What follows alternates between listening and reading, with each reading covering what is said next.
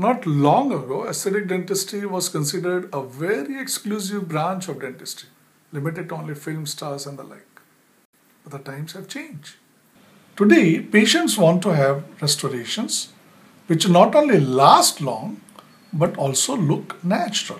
With the rapid advances in materials and equipments of dentistry, it is possible to have aesthetic restorations which mimic the tooth.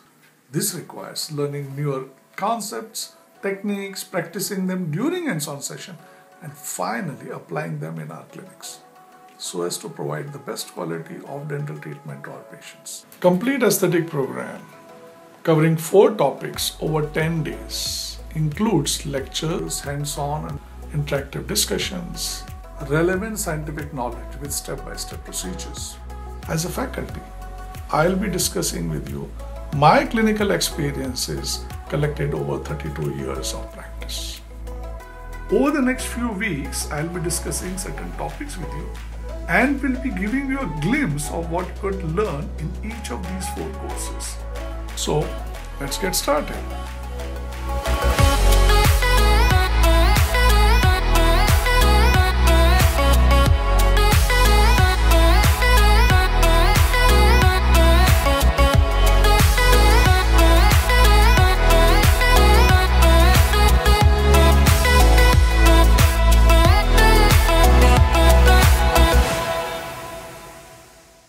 So today we are going to discuss how to take care of sensitivity while you're doing bonding.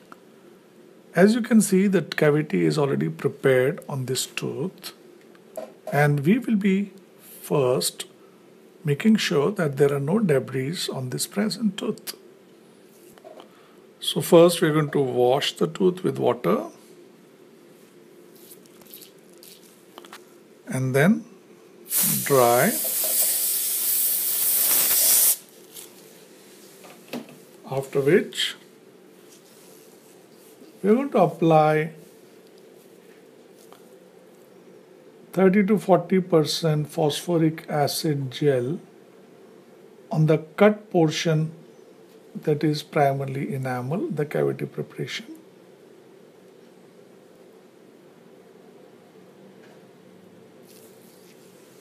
Now, now we are going to just agitate this gel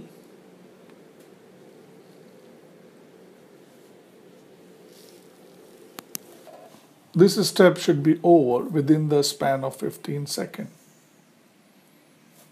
Of high wax suction, remove the gel.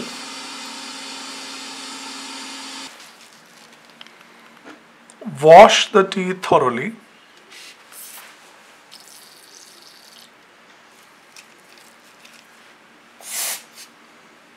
Remove the excess water But make sure the tooth enamel, the dentine is not totally dry.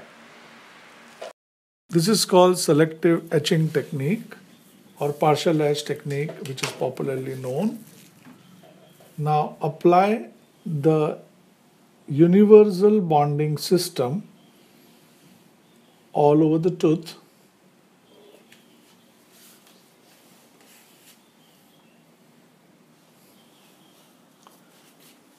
scrub on the dentine as per the manufacturer's instruction which is 20 second in this case.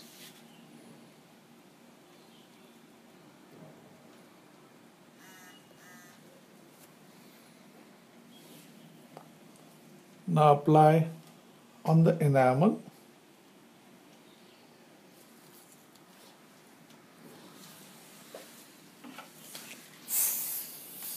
remove the excess solvent by blowing air.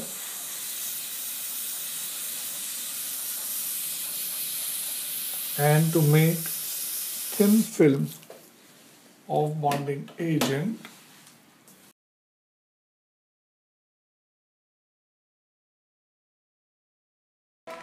Light cure it with a good LED for 10 seconds